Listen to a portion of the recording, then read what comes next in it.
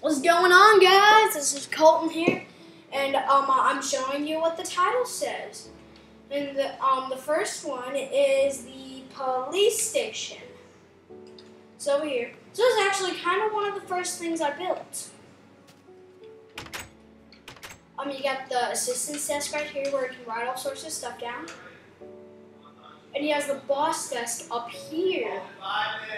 Okay. Write all this stuff down.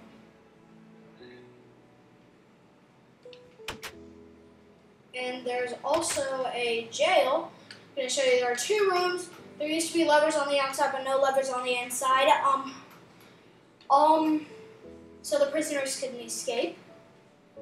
Now, these two over here. This is the fire station. This is where, like, like you go here. This is where all the firemen hang out. You got a TV. When the alarm goes off, go down, and you have the fire trucks. I'm going to show you what they do. It's a louder siren than real life, but people know you're coming.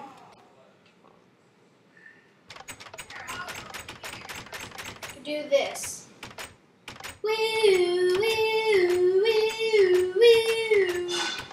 Do that, then. Same thing with the other fire truck. This is going to be kind of a short video, but whatever. You guys enjoy them. Think. I haven't uploaded these on YouTube yet when I'm recording. Okay, here we have the feeling nice, feeling nice. We can go in here and chill out. I we're playing with the ice sometime, but whatever. Get to re- chill out. Okay, over here we have feeling fab, zombie loud.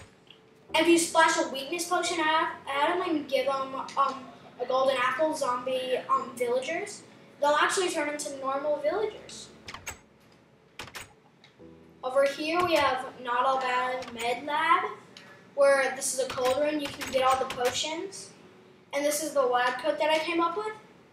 If you get bone meal and press X, and press X or the blue one on leather, on leather armor, it actually makes it white, which I thought that was really cool, and it looks like a um science coat. Over here we have like um hospital where people can like lay down and oh I don't feel very well. Then you can just get it healing potion going whoosh. There you go, you're all better and the exact same thing in the other rooms. That actually is kinda sums it up actually. I don't even know how long this is going on for. How long has this been going on for? Wow.